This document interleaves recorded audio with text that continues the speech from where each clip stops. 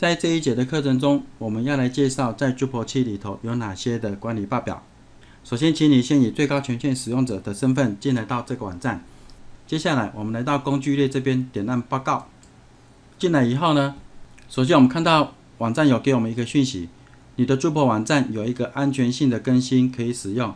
为了确保你的伺服器的安全，你应该马上进行更新。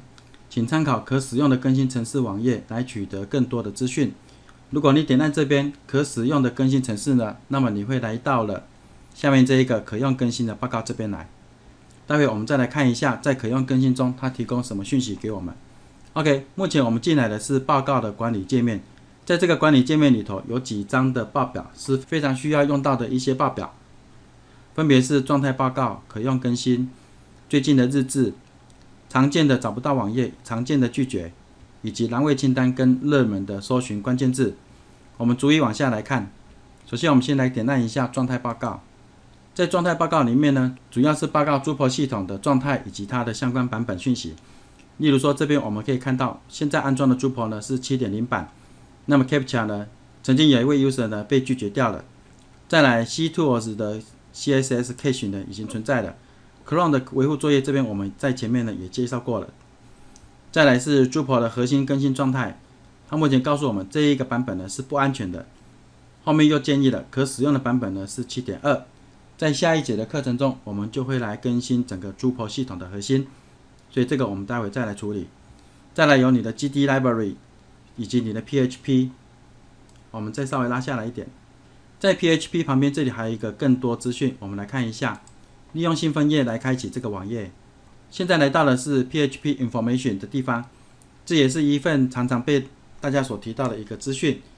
所以，如果你想了解你的 PHP 目前相关的设定是如何，那么你可以来到这个地方，重新来确认一下各项的参数。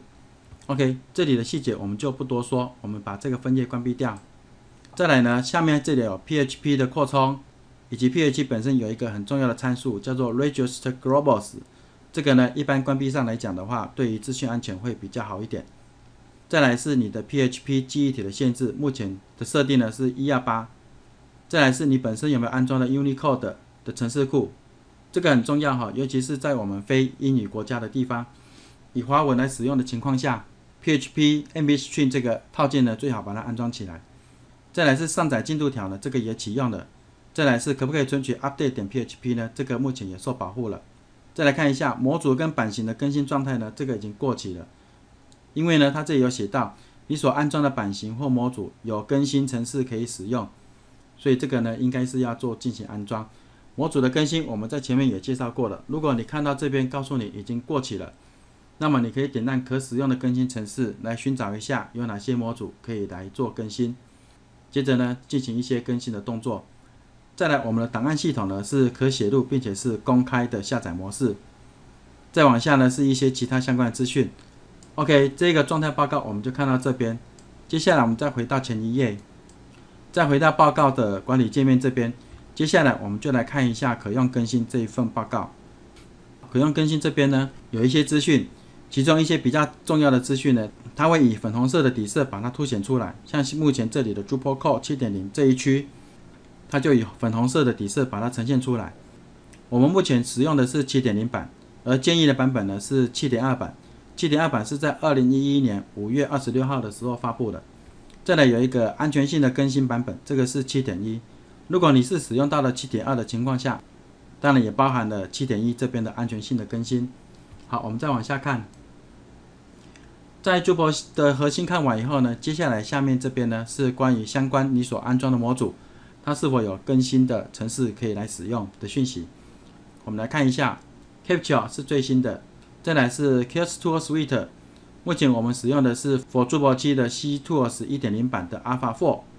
那么下面呢有一个建议版本呢是来到了 C Tools 1.0的 Beta 1，这是在六月一号所发布的。再来是 Display Suite，这个也都是最新的。好，我们再往下看，在下面呢还有一个版型的。Marinelli 这个版型呢，目前我们使用的是 For Drupal 7的 Marinelli 3.0版的 Beta 9。那么新建议的版本呢是 Marinelli 3.0的 Beta 10。因此，从这一份可用更新的报告里头，我们可以知道有哪些核心模组跟版型已经有更新的程式可以来使用。关于模组的更新以及版型的更新，我们在前面已经介绍过了。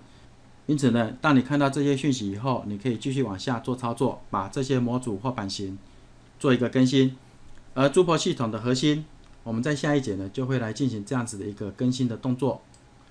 好，我们再回到前一页，接下来我们来看一下最近的日志。在最近的日志里头，你会发现呢，它一直有讯息进来，所有各种的 log 资讯，你都可以在这一份最近日志呢这里面找到它。因为讯息真的是太多了，因此呢，我们还可以来到上面这边，使用它的筛选来进行一些日志讯息的筛选。例如说，我们可以来看一下关于系统所提供出来的一些 log 资讯，然后进行筛选。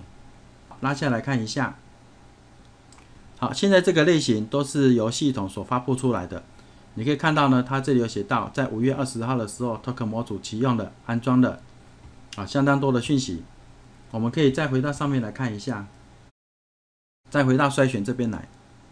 通常我来到最近日志这个地方，我会看一下有没有警告的讯息。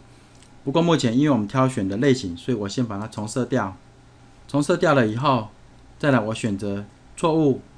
然后再筛选一下，看看目前我们的系统中有没有什么样的问题。拉下来看一下，看起来有很多问题哈。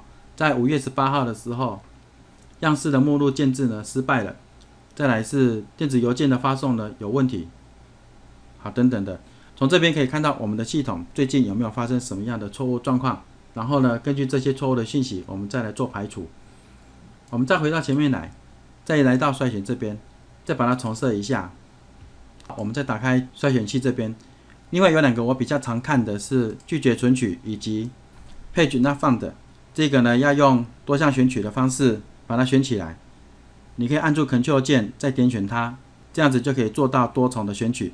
所以我们现在选择的 Page Not Found 以及拒绝存取这两类的讯息，然后进行筛选一下。为什么要看拒绝存取跟 Page Not Found 呢？假如你是一个正式营运的网站，那么这里呢会提供很多关于骇客或是爬虫的讯息提供给你。例如说，以这里来讲，有一个 user 的讯息呢被存取了，但是又被拒绝，这个我们就很值得来看一下，看看它发生了什么事情。点它进来以后呢，你可以看到它本身是某位使用者看了这个网页而被拒绝的存取。然后呢，它本身的主机名称呢是在一二七点零点零点一这个地方。假如你看到很多类似的讯息，而且确认了这个 IP 呢可能是一个爬虫机器人或者是一个骇客，那么我们甚至还可以把这个 IP 呢给拒绝掉。方法呢是可以来到工具列的设定，再来来到下面这边，在用户这里呢有一个封锁 IP 的位置。进来以后呢，把你所发现的爬虫机器人或者是骇客的 IP 把它打进来，然后按新增，你就可以封锁掉这个 IP 进入到你的网站。不过这个请你小心。一旦你拒绝它以后，从此它就再也进不来了。有一些爬虫机器人对你的系统其实是有益的，例如说像是雅虎或者是 Google 或者是 Bing 这一些搜索引擎的机器人，它进来了解你的网页以后呢，让别人可以在搜寻网页时可以找到你的网站。其实这种爬虫机器人是算好的机器人。好，我们再回到报告这边来，再来到工具列的报告。接下来我们再来看一下。其实，在这边就有常见的找不到网页以及常见的拒绝存取这两份报表可以来观看。我们以拒绝存取这个来做例子，在这边呢，我们可以看到，在 user 十一这个地方呢，有一个拒绝存取的错误。但是我之所以比较喜欢从最近日志那边去取得这种拒绝存取或是 page not found 的的讯息，是因为在拒绝存取这个管理界面中，我并没有办法点亮它的细节。因为我看不到细节，我也就不知道这是发生了什么样的状况，是哪有哪一个 IP，或者是哪一位使用者所进行的操作，这是唯一比较可惜的地方。再回到前一页上面来，接下来再往下看，接下来这里有一个栏位清单。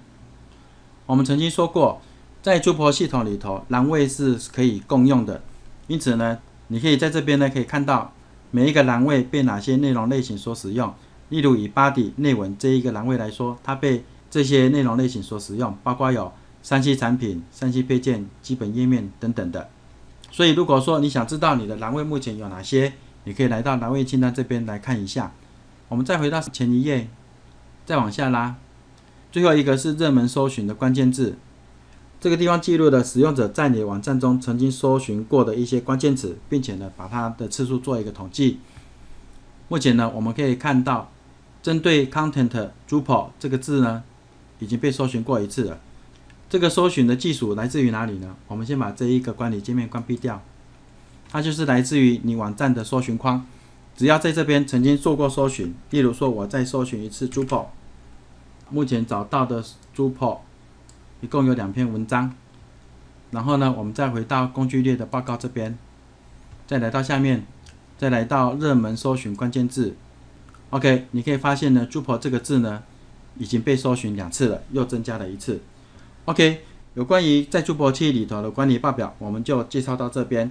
接下来，请你进入下一节，我们要来介绍关于 j u p 系统核心如何进行更新的动作。